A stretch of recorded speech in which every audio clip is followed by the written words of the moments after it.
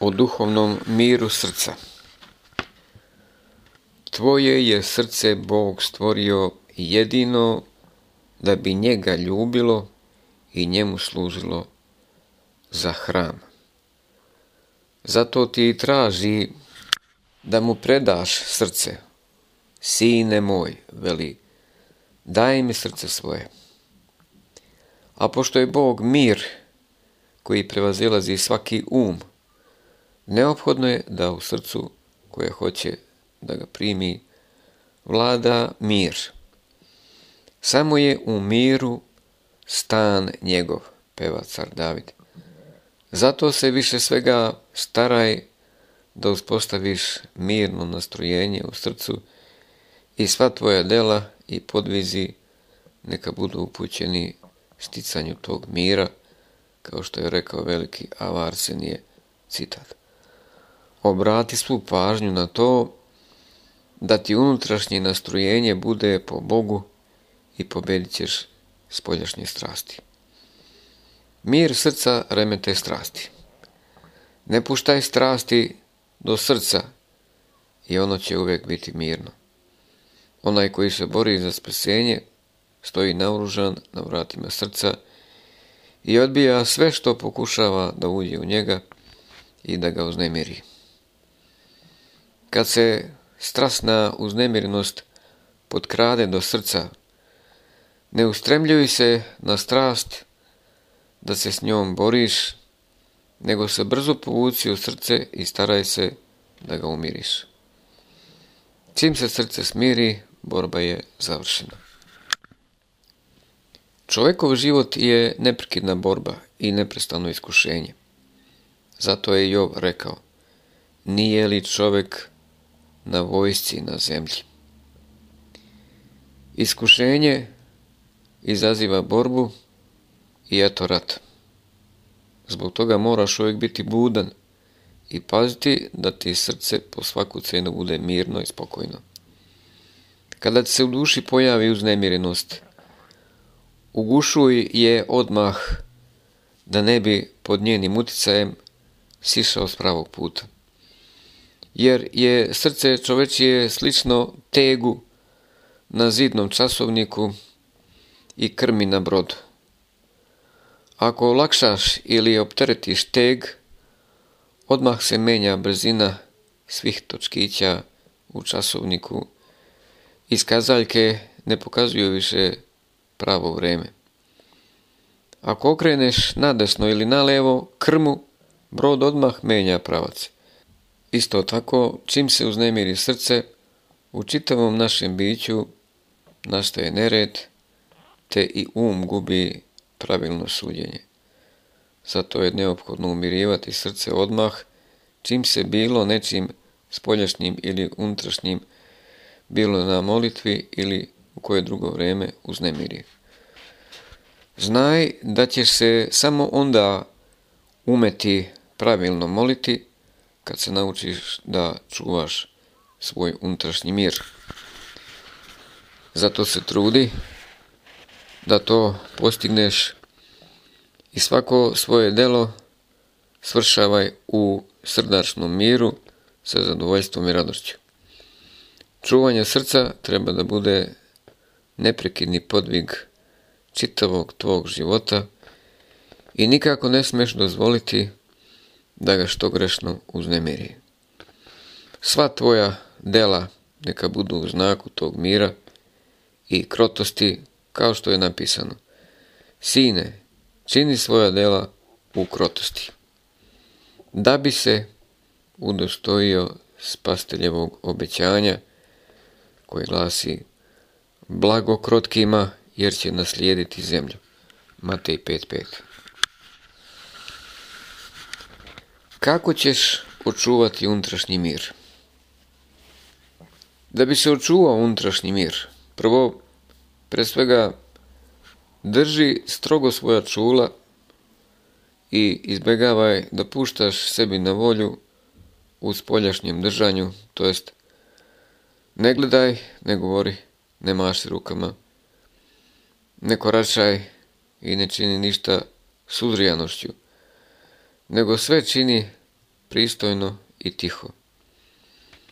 Kad navikneš držati sebe mirno u spoljašnjem pogledu, lako ćeš i bez muke zadobiti i mir u sebi, u svome srcu, jer po svedočanstvu otaca unutrašnji čovjek u mnogome dobija raspoloženje od spoljašnjeg. Drugo, da bi sačuvao unutrašnji mir, stvori u sebi raspoloženje ljubavi prema svima ljudima i živi sa svima u miru, kao što zapoveda sveti apostol Pavle. Ako je moguće, koliko do vas stoji, imajte mir sa svim ljudima.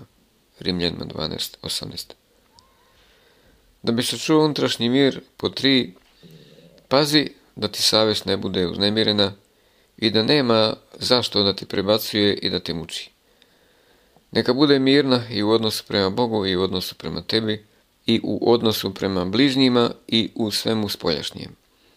Čuvanje savjesti stvara, produbljuje i povećava unutrašnji mir, kao što svedoči sveti David. Ovako, veliki mir imaju oni koji ljube zakon tvoj i u njih nema spoticanja. 119. psalam. Da bi sačuvao unutrašnji mir pod četiri, nauči se da bez uzbuđenja podnosiš sve neprijatnosti i uvrede. Istina, mnogo će se namušiti i pretrpeti dok se na to navikneš, ali kada tu naviku stekneš, tvoja će duša imati veliko zadovoljstvo i od samih neprijatnosti koje te budu snalazle. Kad se na to odlučiš iz dana u dan, ćeš sve bolje upravljati sobom i uskoro ćeš umjeti da sačuvaš mir u sebi pri svim spoljašnjim i unutrašnjim nemirima. Da bi sačuvao unutrašnji mir pod pet, ako ti se koji put dogodi da ne možeš vladati svojim srcem, odagnati iz njega tugu i žalosti i uspostaviti mir, pribegni molitvi ugledajući se na gospoda spastelja koji se u Gecimanskom vrtu tri puta molio. On ti je time dao primjer da u svakoj žalosti i tuzi pribjegaš molitvi. Ma koliko žalost i malodušnost navalili na tebe, ne odstupaj od molitve sve dok tvoja volja ne postane potpuno saglasna s voljom Božjom i dok ti se srce ne umiri i ne ispuni hrabrošću da primi i podnosi radosno ono čega se ranije bojalo i što je želilo da izbjegne. I gospod se pre molitve plašio, tužio i bio žalostan, a posle molitve se umirio i spokojno rekao Ustanite da idemo, evo se približi izdajnik moj. Matej 26.46 Mir se postepeno useljava u srce. Staraj se da nikako ne dopustiš uznemirenost srca, nego da ono stalno bude u mirnom nastrojenju. I Bog će videći da se trudiš, sazidati u tebi svojom blagodaću grade mira i tvoje će srce postati dom utehe.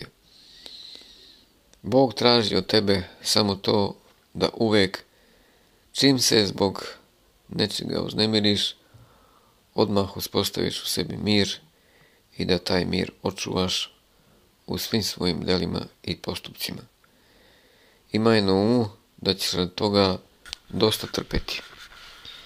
Jer kao što se grad ne podiže za jedan dan, tako se ni unutrašnji mir ne stiče za jedan dan. Jer to nije ništa drugo do zidanja doma za Boga mira i skinije za svevišnjeg. Zna isto tako da je sam Bog zidar doma u tebi i da će bez njega biti uzaludan svaki trud, kao što je napisano. Ako gospod neće graditi doma, uzalud se muče koji ga grade. Psalam 127. Zna još i da je glavni temelj toga mira skrušenost i izbjegavanje dela koja uzbuđuju i uznemiravaju. Ko ne zna da su smirenost, mir srca i krotost tako tesno povezane međusobom, da gdje je jedno, tamo je i drugo. Ko je tih srcem i krotak, taj je iskrušen, isto tako ko je smiren srcem, taj je krotak i miran. Zato ih je gospod stavio zajedno kad je rekao Naučite se od mene, jer sam ja krotak i smiren u srcu. Matej 11.29 Što se tiče potrebe da se izbjegavaju dela koja donose nemir, prasliku toga vidimo u staroj istoriji.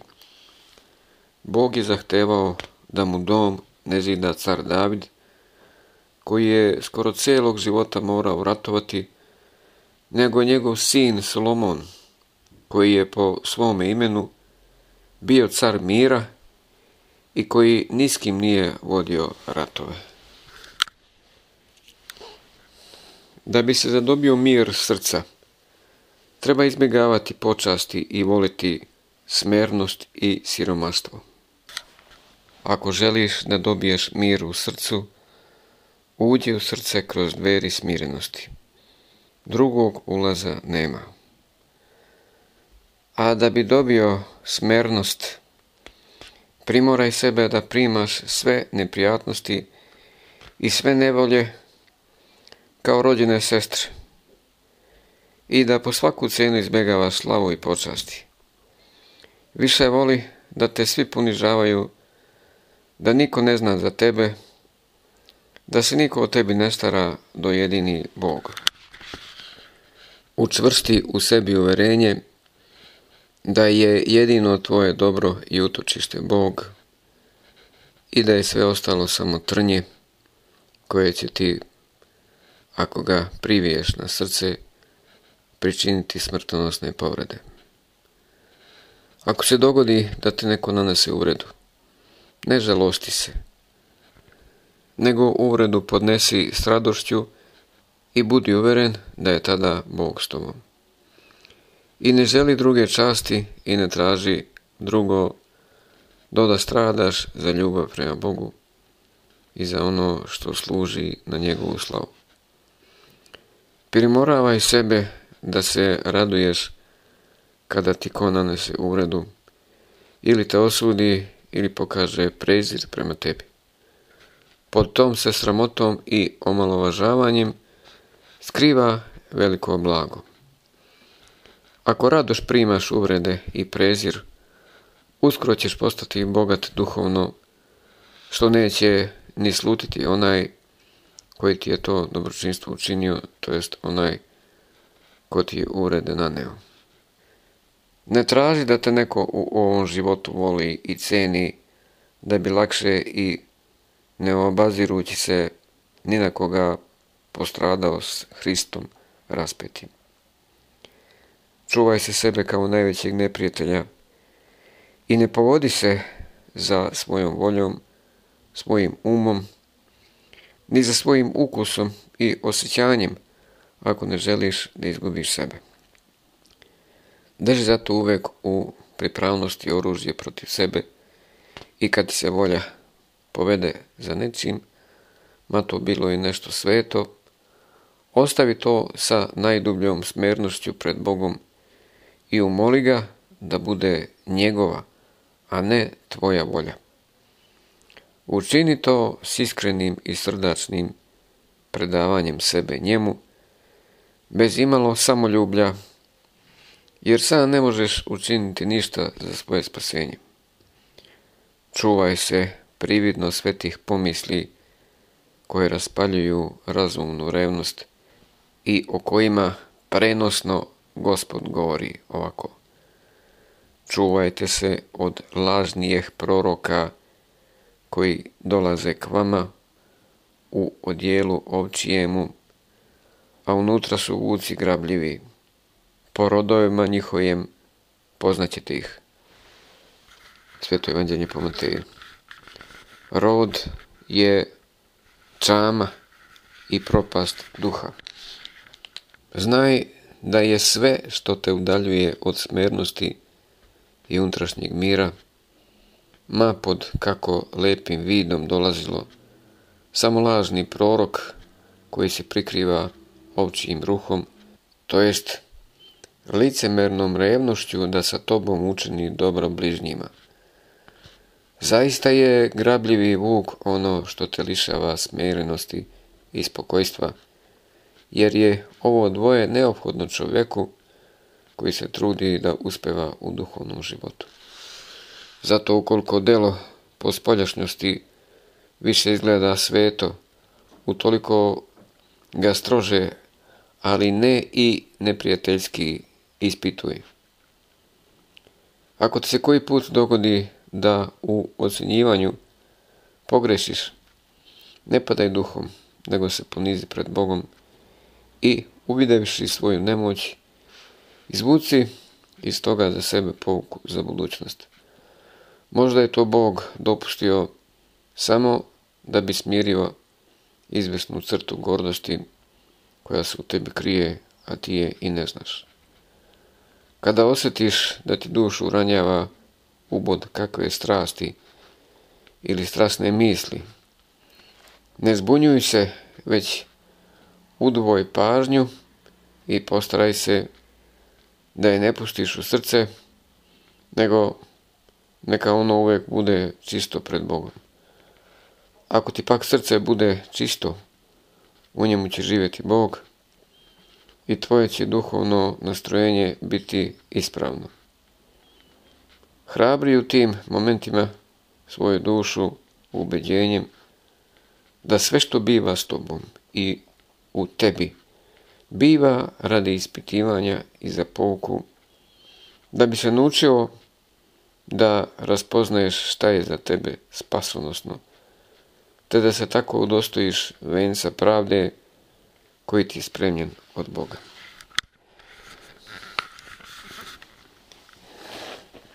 Neophodno je da duša prebiva u samoći, da bi je Bog ispunio svojim mirom. Bog je stvorio dušu da mu bude stan i hram. Zato je visoko ceni i ne dopuštaj da se ponižava i povodi za nečim što je ispod nje. Sve tvoje želje neka budu u znaku očekivanja te nevidljive Božije posjete. Bog neće posjetiti dušu ako nije usresređena. On želi da duša bude slobodna i od pomisli i želja koje unose u nju nemir, a narošto želi da se čovjek odreče svoje volje. Ali se u cilju odricanja ne smeju nerazmišljeno uzimati kakvi strogi podvizi, niti se moraju tražiti povodi da se postrada iz ljubavi prema Bogu. Dokle će odricanje ići, odredit će duhovni otac koji rukovodi tobom. Slušaj ga u svemu i Bog će preko njega upravljati tvoju volju onome što je njegova volja i što nalazi da je za tebe korisno. Nikad ne čini ništa po svojoj volji, nego neka u tebi čini Bog ono što On želi od tebe. Neka tvoja volja bude uvijek slobodna od tebe samog, to jest ne želi ništa sam od sebe. I ako što zaželiš, neka tvoja želja bude takva da se ispunilo sve što želiš ili ne, nimalo ne žalostiš, nego da ostaneš spokojna duha, kao da ništa nisi ni želeo. Prava sloboda i usresređivanje nastaju kad duša ne bude ni umom, ni voljom vezana ni za šta na zemlji. Ako takvu slobodnu i usresređenu dušu ponudiš Bogu, zadivit će se onome što će On učiniti u njoj. Daće ti pre svega mir, a mir povlači za sobom sve darove, kao što kaže Grigorije Solunski citat. Divna usamljenosti, skriveni hrame svevišnjeg, u kome Bog sluša reći kojemu govoriš i sam govori tvojoj duši. O pustinjoj samoćo u kojoj je raj. Jedino tu daje Bog da ga ko vidi i govori s njim. Idem da vidim tu utvaru veliku u zagradi kupinu koja ne sagoreva, govori Mojsije u pustinji Sinajskoj. Druga Mojsijeva. Ako i ti to želiš, izuj obuću svoju, to jest oslobodi dušu od interesovanja za mašta zemaljsko. Ne uzmaj ni novaca, ni štapa, kad polaziš na taj put, kao što je zapovedio gospod svojim učenicima. Sveto evanđelje po Luki. Ne moli ništa od ovoga sveta i nikoga ne pozdravljaj na tome putu, kao što je zapovedio Jelisije svome detetu i gospod svojim učenicima, nego sve svoje misli, sve svoje raspoloženje i svu ljubav podređuj jedino Bogu. Ostavi neka mrtvi ukopavaju svoje mrtvace. Sveto evanđelje po Mateju. I ti idi zemljom živih i neka smrt nema mesta u tebi.